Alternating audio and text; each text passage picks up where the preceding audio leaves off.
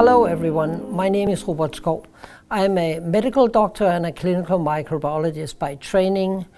My normal work is at Statens Serum Institute in Copenhagen, where I'm a public health microbiologist.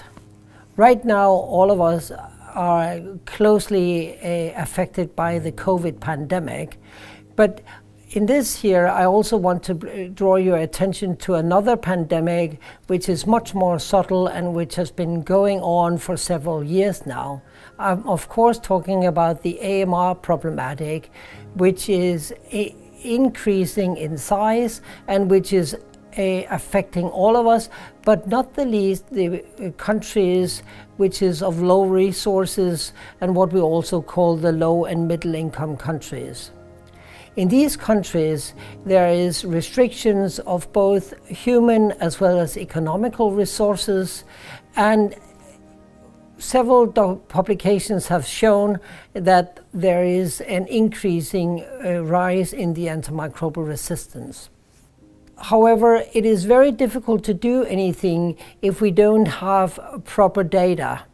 And in that sense, getting more data, especially from low and middle income countries, is extremely important. And therefore, ESCMID is promoting that we are uh, getting more focus on the AMR problematic in general, but uh, especially in low and middle income countries. And it is therefore really great to have the collaborations with the Bill and Melinda Gates Foundations, who has been giving us uh, travel grants for the next coming ECCMID in Lisbon.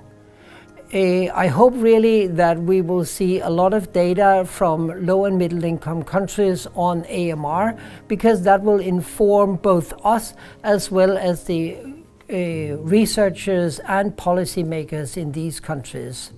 So looking forward to meet all of you in Lisbon, both talking about COVID, but not the least, also talking about AMR. Thank you.